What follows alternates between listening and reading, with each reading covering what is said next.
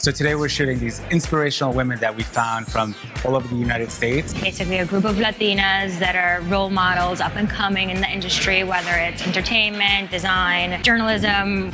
I am so honored to be a part of such an amazing group of women and be able to capture that spirit.